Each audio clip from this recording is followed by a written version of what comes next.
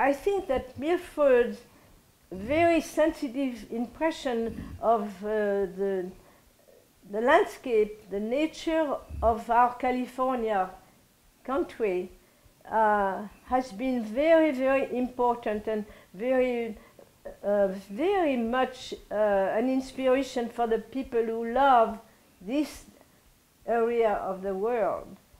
Uh, I think that he has a place in the art world that will be much more appreciated in the next generation than in this one. Because he really uh, had a very, very sensitive interpretation and understanding of the nature, the very special beauty of this part of the world. I think that I have to admit that practically um, to this day, artists do not make a living out of their art. They have to marry a wife who is a teacher or a nurse, who has a regular teaching salary. And even myself, instead of becoming a producing artist, I became a professor of French and French literature because we had to have a regular salary, even though Harrison always sold everything he ever made. He never had any trouble selling his work, but he was very slow. This kind of work is a very slow technique of working in ceramics. Just to do the decoration is very minutious.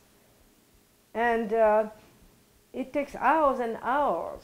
And it not only takes hours to produce it, but it takes a peaceful uh, way of living, um, a peaceful atmosphere to create this kind of environment conducive to producing work that will uh, be um, an inspiration for a peaceful living.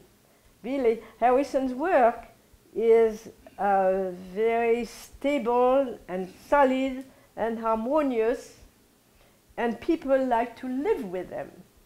And uh, as you can see, even with this big vase in, that is here in front of us, it expresses strength, balance, and at the same time it has a rhythm and uh, a life to the decoration and even the contrast between the fullness of the volume and the elegance of the neck. All of this is important as expression or symbols of harmonious life.